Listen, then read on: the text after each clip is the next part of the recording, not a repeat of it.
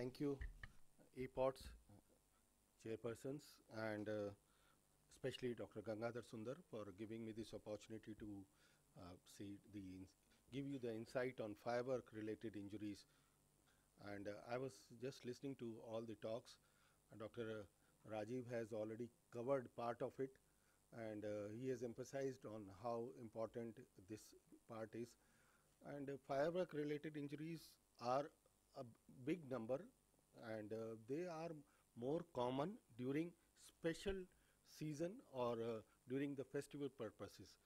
So these injuries are uh, fireworks are used worldwide for the festive purposes during the New Year Eve globally and especially in our country during Diwali, Independence Day in USA and all the important days uh, throughout in, in the various part of the world during their special uh, occasions. So unfortunately, this has been associated with various bodily injuries and permanent disabilities and even death. Ocular trauma contributes to whopping 16 to 31 percent as per the various studies of total number of firework injuries. And firework trauma are a serious public concern as they predominantly affect young males which are in the, their productive age group and there are severe devastating and permanent effects on vision, cosmesis and professional functioning. They can be so devastating and damaging and uh, irreparable loss could be there as you can see in two of these injuries which we can have from our center which we could not do and much and there is a large corneal scleral tear extending to the periphery up to the the the root of uh, the muscles and beyond. And uh, we could repair it but unfortunately we could not save the eye because of the extensive damage in the posterior segment as well. Another case with the large tear another case which could be managed it takes long time to manage such cases but ultimately if, if you can save it the uh, the effort and the energy used during to maintain it is really heartening and welcome we feel. But many a times it is so devastating and damaging that there is a tissue loss and loss to the posterior segment optic nerve adnexal trauma. And even if we can manage it for few months the later period of life it is uh, you know, are not sure whether it is uh, of uh good uh, we can give useful vision to that patient. Literature review says that uh, in this study which was published in British, British Medical Journal wherein they have um, seen the reviewed 26 articles for calculation of trauma incidence and patient demographics. Out of these 26 articles, 17 were reviewed for the to assess the trauma severity and vision loss. 77% uh, injured were male, 82% young, and 47% bystanders, means almost 50% were bystanders out of this. Most of the trauma was mild and temporary, and penetrating eye trauma, globe contusions, burns accounted for 18%.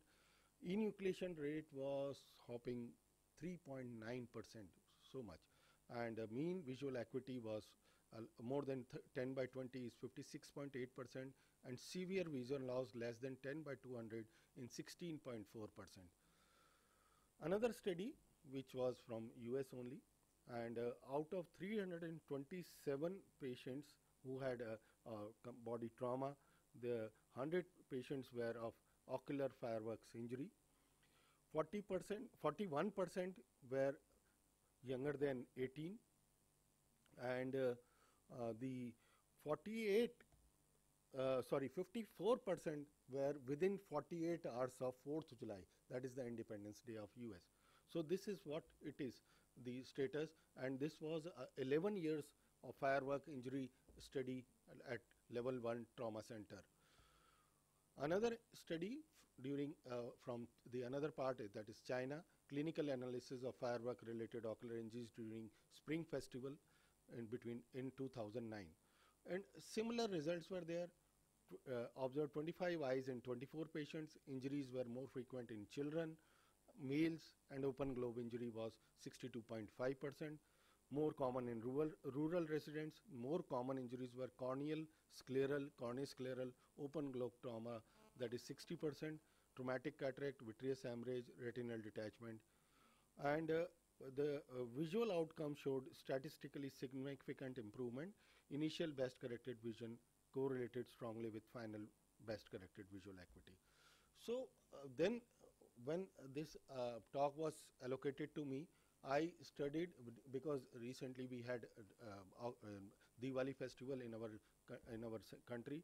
So we studied retrospectively the fireworks injury in just four days of Diwali at our center in 2017 and 18, and we uh, analyzed and we found that 85% of them we received 20 patients in two years 12 in 2017 and 8 in 2018 in just four days of uh, ocular trauma with the cracker blast injury or the firework injury. And 40 85% of them were less than 20 years of age and uh, and they were mostly males.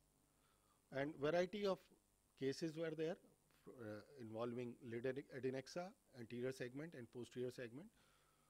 And the final visual outcome what we can see was not very welcoming and very uh, not very encouraging to us because in uh, almost 35% of these patients we had vision in, in the category of blindness less than 360 or even no PL uh, in one patient where we have eviscerated the eye. This is an unusual case which uh, we could um, uh, we could retrieve the uh, can I video can can you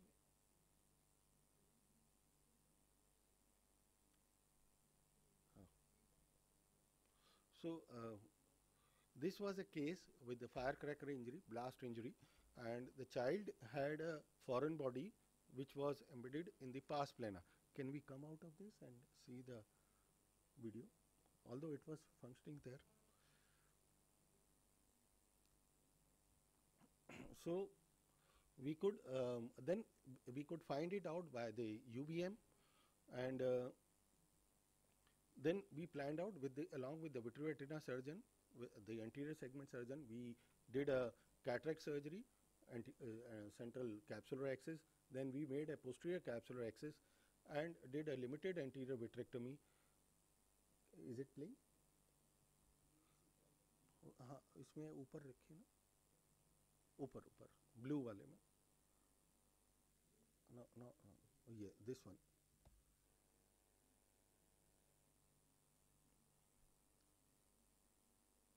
so uh, we did a uh, we removed the foreign body from the pars plana by doing a limited anterior vitrectomy and uh, held it with the uh, intravitreal forceps. Uh, and uh, then we removed it through the um, uh, the paracentesis wound or the main wound. If it is okay if it is not working we'll go ahead. Uh, uh, foreign body removal this one second one Uh, uh.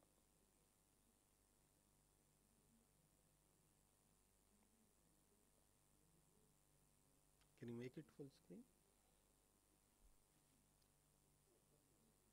Oh i think uh, we can skip it. Uh, it's fine? Okay. Yeah. So this is uh, the foreign body which we after doing limited anterior vitrectomy we held it with the uh, the intravitreal forceps. Then we did the vitrectomy again with the vitrector bimanual way so that there should not be any traction. And uh, we removed it through the same wound. It was uh, the thing is that in these firecrackers i don't know how they embed these metallic particles. Uh, how they have come it's a, whether it is a potash or something or some mineral particle metallic particle. They're fine metallic metallic particle. Okay. then another case uh, which i remember we operated 2 years back. He had a firecracker he is a policeman. Uh, so he was a policeman he had a bilateral firecracker injury for three months he was bilaterally he remained bilaterally blind he could not see because only PLPR was there because there was a involvement of adnexa, the lids, then the, the corneoscleral wound, melting of the cornea. We did a, twice we did keratoplasty in one eye and in the other eye we did a patch graft.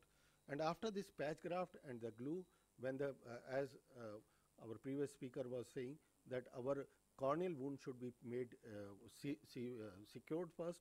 Then we planned for the intravitreal surgery, and there were a lot of potash particles inside the eye, and uh, but we could manage this patient in one eye. The vision we could retrieve after six surgery in that particular eye, and the vis vision was six by nine, and the other eye there is a three by sixty vision after the whole half of the retina has been damaged by this, and. Uh, the important thing which uh, Dr. Uh, uh, my previous speaker, Dr. Raman, also em emphasized that legislation has got a role in this. In this study, which was published in BJO, wherein they said out of these 13 studies, where there were restrictive legislation law, the incidence was less. And in permissive legislation, where the, there was people were allowed to do the firecracker injury self without uh, taking any uh, help from the professional persons, there the incidence was very, very high. So to conclude, uh, there are now improved implants where the better grafting techniques and inclusion of navigational techniques in oculoplastic surgery, this has improved the outcomes in the adnexal fireworks injury. And a timely referral of the patient to the tertiary center after primary care can salvage some eyes and a multidisciplinary approach should be adopted to maintain normal anatomy and physiology and we should go for a stage surgery and improve the anatomy and physiology of the adnexa, ocular surface, cornea, glaucoma, lens and retina. In case of no hope, measures should be taken to improve cosmetically by appropriate prosthetic devices so that the patient's uh, psychology doesn't is not affected. Firework-related ocular injuries occur mainly in children, males, and are frequently severe and visually devastating. 50% of firework-related ocular injury decreased following a ban of bottle rockets. And in four states in the United States, which have banned the sales of all fireworks, and these states have a lower rate of firework-related injury. And this was found to be, the banning of the fireworks was found to be more effective than public education in reducing the incidence of injury. And there should be a strict and restrictive laws on personal use of fireworks for the safety of person handling the fireworks and spectators as well. And we as Trauma Society, welcome sir, and uh, APOTS, Ocular Trauma Society of India and World of uh, Ophthalmic Society should collectively work to ban all fireworks except the supervised public display in all countries. And I invite you to the World Congress of Ocular Trauma, which is going to held in December 14 and 15 in New Delhi. And uh, it will be really an experience. Please, you all should uh, involve actively by sending your papers, your experiences, and participating it. Thank you. Thank you.